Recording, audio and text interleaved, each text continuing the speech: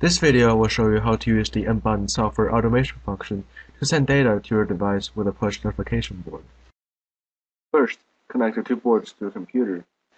Here I use the push notification board from National Control Devices, and I also use the Zigmo board from National Control Devices as well. This device will connect two COM ports together. We will send data through one port and receive data from another port with our COM operate software. Make sure that you have N-Button Software Lite or Pro version installed and run the software. Click the Devices Manager button to add the boards to the computer. For the push notification board, give the board a name so it'll be easier for later use. For here, I name mine my push notification board without cap first letters. Then, select the manufacturer, National Control Devices, and select the device type, push notification. Check the serial port USB bubble Select the port COM12, keep the baud rate as default setting, and click OK.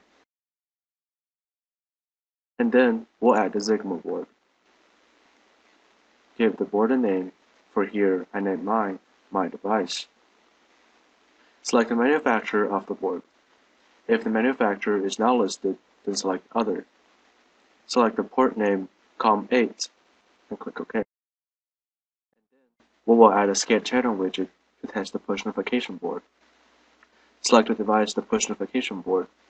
Select name that we named it before. Select the channel ID channel 1. And then we'll create a widget that can show the board status. Here on your desktop is a widget that will show the board status. You will see when I push the button, the light will be turned on. The widget will also show closed. That means the input channel is closed. When the light is off and the status shows open, that means the input channel is open. This means the board works with N-Button. Now, we will use the N-Button automation function to set up the send data function. And now, add a new push notification contact closure rule. Give the rule a name.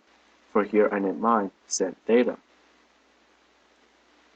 Make sure the device is the push notification board and make sure the channel is channel 1. And then click the setting of action when status change from open to close. Make sure the action type is send data, and make sure the action device is the device that we named before. Here you can assign the value of the data you want to send, and you can also change the format of the data.